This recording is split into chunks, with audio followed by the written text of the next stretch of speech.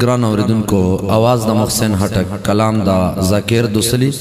فرمایش ملګرا دا منیجر نصیب خان ډلای دیوی فاتح العمر تا لا لا لا لا لا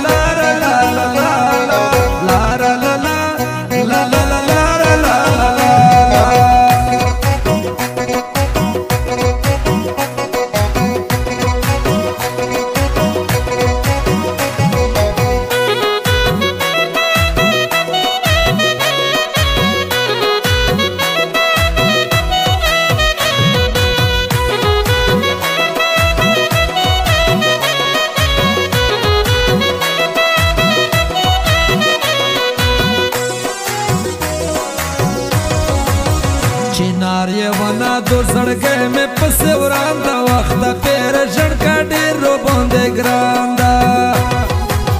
چنار یې ونا دور زړګې مې پس وران دا وخت پیر ژړکا ډېر رو باندې ګران دا وخت پیر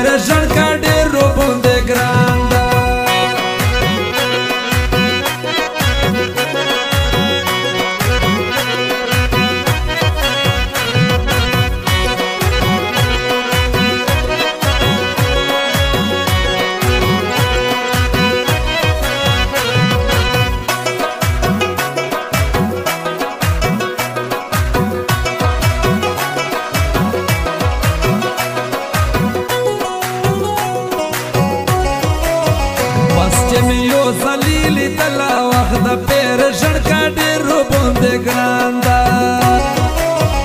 مې د سترګو تختوله وخت د پیر ژړکه ډېر ربوندې ګران ده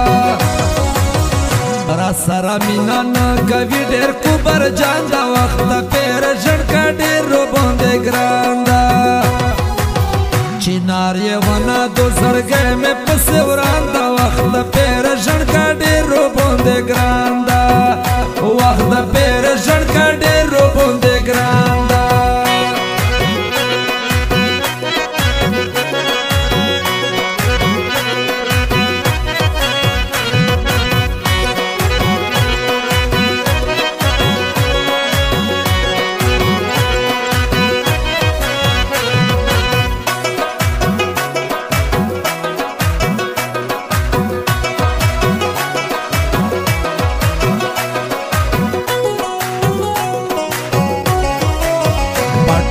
شلو کې خسین دا وخت د پیر ژړ کډه رو باندې